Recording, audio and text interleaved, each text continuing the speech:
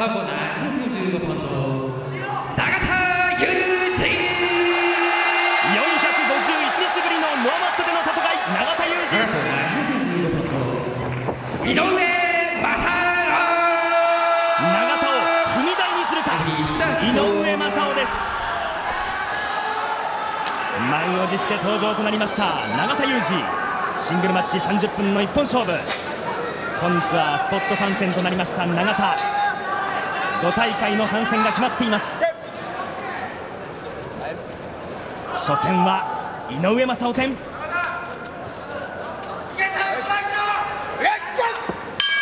今ゴングを聞きました。永田裕二そして井上正雄。井上コールがまず先に沸き起こりました。それを聞いて少しやりにくそうな表情仕草を見せた永田。しかしその後すぐさま永田コールも起こりました。改めてコンタクトを図ろうという両者。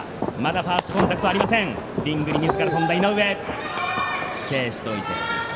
自分のタイミングでがっちりと組んでいこうと。井上今組み合った。永田。左右が井上。プロレスリングノアの選手会長でもある井上。井の一番でこの永田と対戦することになりました。そして新日本プロレスの選手会長もこの永田裕二両者が選手会長まずどんな戦いを見せるか。この試合の放送の解説は桃田光雄さんです。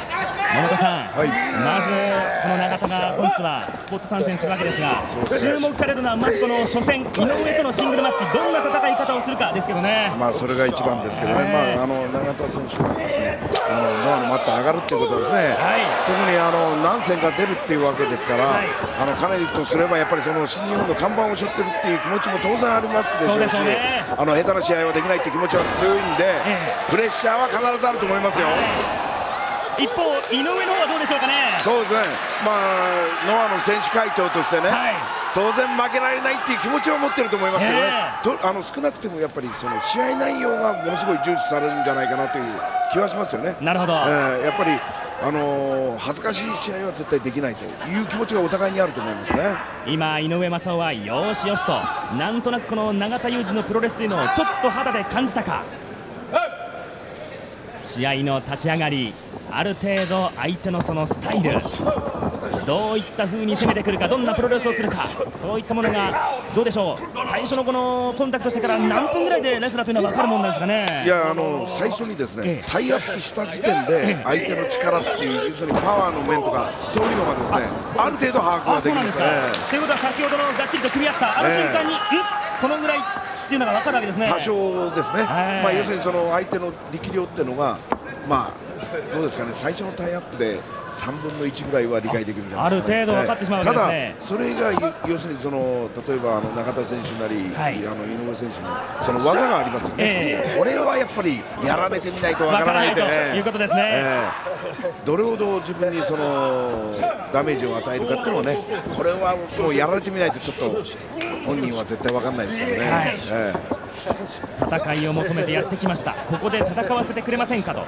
本ツアーの開幕戦ノアの後楽園ホール大会に乗り込みまして三沢の立つリングに上がった永田。プロレス界の頂点に立つためにはプロレス界をよく知りたい。まだ戦ったことのない選手がこのマットにはいたんだ。そう言ってノア参戦を決意しました。あこれセコンドは新日本プロレス中村慎介の今姿を捉えました。中村も1ヶ月後高山の持つ NWF 王座に挑戦することが決まっています。今回は勉強のため永田さんは高山選手を破ったこともある。だから永田さんのセコンドについて勉強したい。そして何よりも高山の高山選手の試合もじっくりと視察したいんだと言って新日本プロレスに直訴してこの永田のセコンドについてまいりました。中村慎介青コーナーで見守っています。その見守る視線の先で永田がまず井上の足を捉えました。アキレス腱固め。一流選手でありプロレスに意欲的意欲的だというその永田に敬意を表した三沢スポット参戦を認めました。結局今日の富山大会の井上戦を皮切りに6月6日日本武道館大会の田植え戦まで全5大会に参加が決定。5.16仙台大会では秋山と6人タッグで。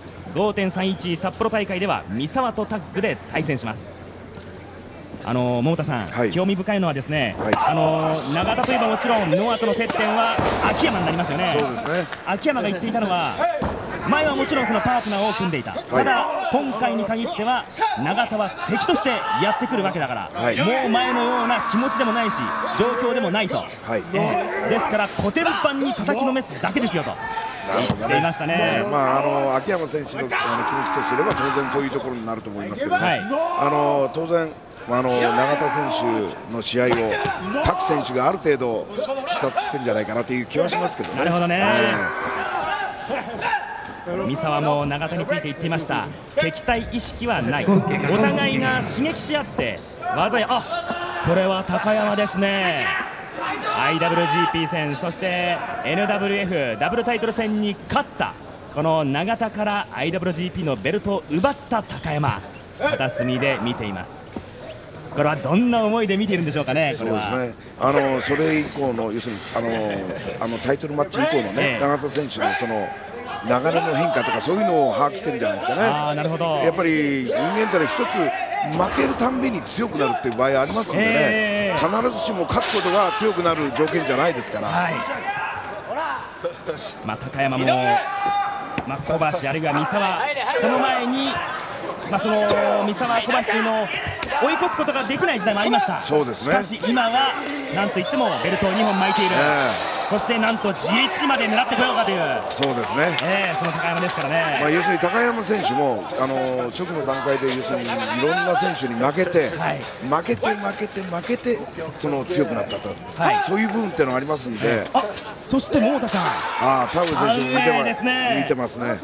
まあ最終戦6.6日本武道館大会でその最後の永田コンツアーの5大会目。田植えとのシングル戦が控えています。まあ田上選手とすれば当然気になるところだと思いますね。はい。えどんな試合をするのか。永田裕二、まあ、今回コンツアーで5大会に参戦することが決まった。何えかありましたか？の井上選手がちょっと出血してますね。あそうですか。ええ。あの目の脇かどっか切って先ほどの場外での攻防の中で繰り広げられた。その中での出血かどうか。ああ出血してますね。そうですね。これは左目左目ですねもまぶたのあたりですまか、ぶたですね。まああのまぶたっていうのが一番あの要するに切れやすいのは切れやすいんですけどね。まあ、ボクシングの試合などでもね、えこうスッというこうパンチで簡単に切れてしまいますけれどもえまああの試合にただねあのまぶたを切ると目の中に血が入りますんでね。はいそうするとあのなんていうんですか膜が張ったようになって、ええものすごく見づらくなるんですよ。そうなんですか、はいそれがちょっと心配ですけど出血自体はそれほどきつくないですから問題ないと思うんですけどね。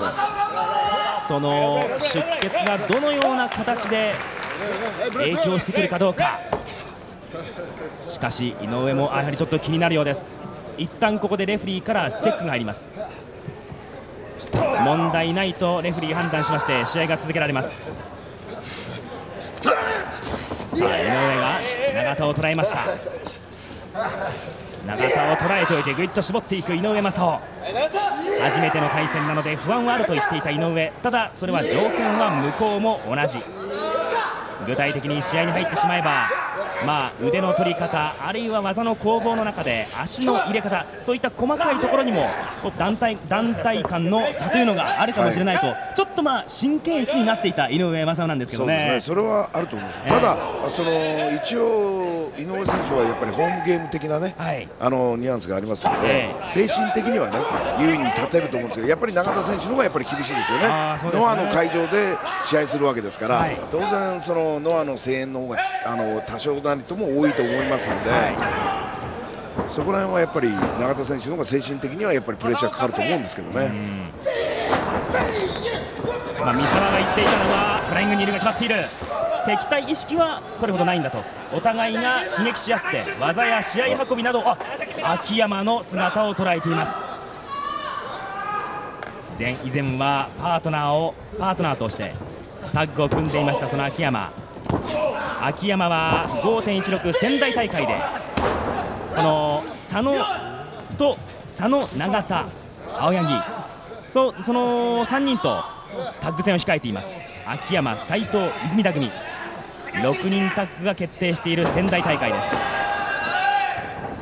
まあ、あのその秋山が今回はやるからには敵なんだからもう徹底的にやってやるというコメントを先ほど言っていましたよと永田に言いましたところね、はい。そうでなきゃ困りますよと。非常に楽しみにしているようなそんな笑顔さえ見せていたんですね永田。あのーまあ、選手の立場からすれば、はい。当然、要するにその相手の要するにホームグラウンドへ来て、えいい加減な要するに攻撃をされてもね、はい。本人も納得いかないだろうし、ええ。何のためにここへ来たのかわからないわけですからね、はい。思いっきりやってもらった方がいいっていう永田選手の気持ちからすれば当然そうだろうと思いますし、でまあ、ノア側から言えば、ここへ上がったんだから、いっぱいやっつけてやるよっていう気持ちは当然あると思いますね。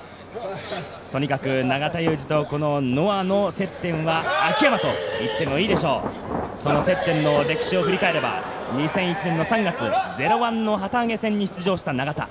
橋本とタッグを組みまして新日本勢として初めてノア三沢秋山組と対戦しました、まあ、その時の対戦で永田に興味を持ったという秋山がその年の6月藤田永田の IWGP 戦を視察に出かけました。7月には逆に永田がノアを訪れまして秋山、三沢の GHC, せ GHC のタイトルマッチを視察しました、まあ、その秋山と永田が橋の架け渡しみたいな存在になりましたからね、一時期。はい。今まではその閉ざされていたその道というのを開いたのが開けたのが永田そして秋山でありました。さあここから打開していこうという井上正雄ミリオンドラーバスターの構えに入っている後頭部を打ちつけていきました井上。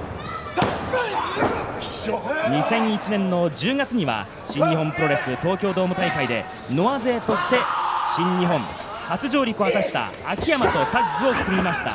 永田裕二。さあここで井上が永田を担ぐか。アルゼンチンでしかし永田が逃れる。アルゼンチンで担いでいこうという永田。担いでいこうという井上。永田はここはうまくエスケープ。おっと投げていった。バックフリップで思い切って投げていきました。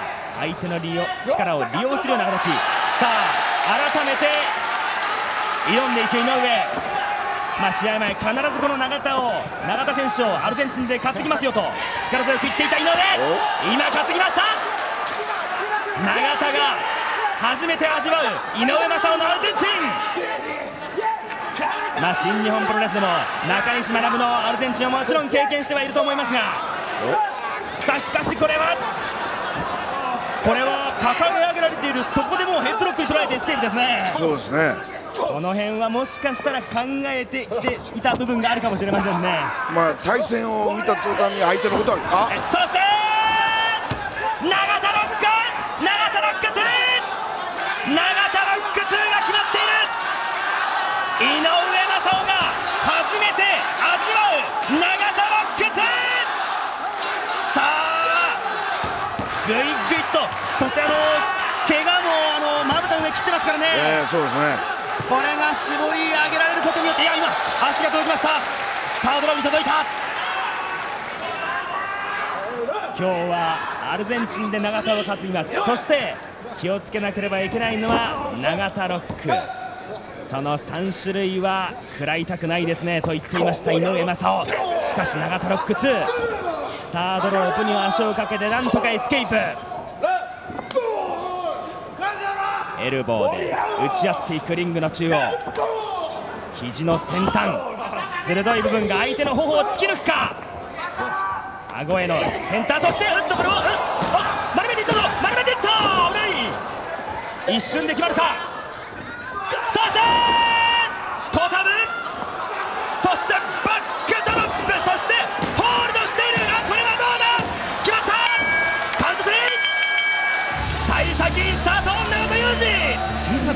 アのマットに大きなうねりができたか。